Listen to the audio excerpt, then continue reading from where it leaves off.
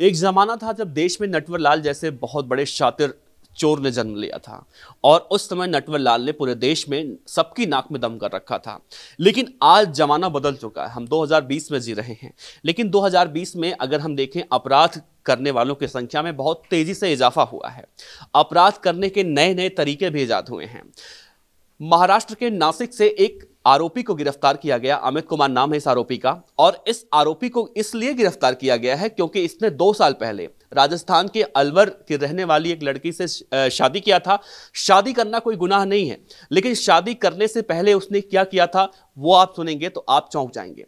शादी करने से पहले इसने प्रधानमंत्री नरेंद्र मोदी के सिग्नेचर वाली फर्जी चेकबुक दिखाई कि नरेंद्र मोदी ने किस तरह से हमें अपॉइंट किया है और मेरी नौकरी पीएमओ में लग चुकी है। और इसी बात का हवाला देकर उसने एक लड़की से शादी की और जब ये बात, इस बात का खुलासा हुआ तो अब पीएमओ ने एक्शन लेते हुए उस पर कार्रवाई की है। आप इस पूरे रिपोर्ट को देखिए।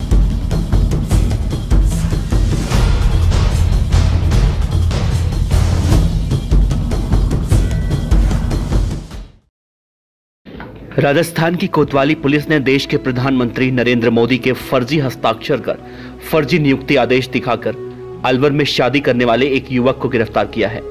आरोपी का नाम अमित कुमार शर्मा है, जो नासिक, महाराष्ट्र का रहने वाला है। आरोपी ने पीएमओ की नियुक्ति के आदेश पर प्रधानमंत्री नरेंद्र मोदी के फर्जी हस्ताक्षर कर लड़की के परिजनों को दिखाया और उसके बाद लड़की से शादी की। जब लड़की शादी के बाद ससुराल गई तो मामले का पर्दाफाश हुआ। इसके बाद लड़की ने परिवार को इस बारे में बताया तो पीड़ित परिवार ने पीएमओ से शिकायत की थी।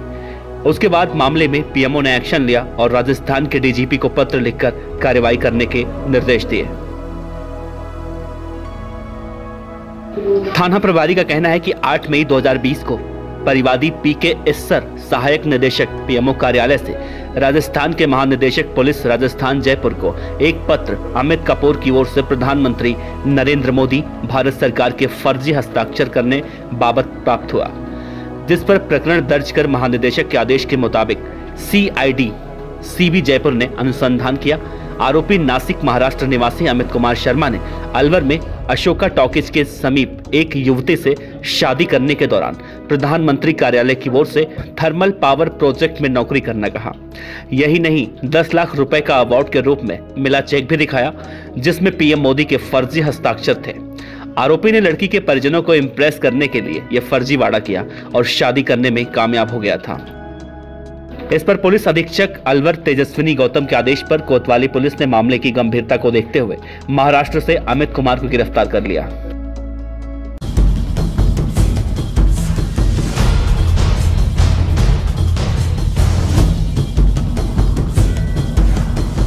ऐसी खबरों को देखने के लिए आप गूगल प्ले स्टोर पर जाकर local vocal news and utility app को डाउनलोड कीजिए। साथ ही दो लाख रुपए के बीमे का लाभ उठाइए। धन्यवाद। हमारी वीडियो कैसी लगी, हमें कमेंट्स बॉक्स में ज़रूर बताएँ। अगर वीडियो पसंद आई हो तो इसे लाइक और शेयर ज़रूर करें।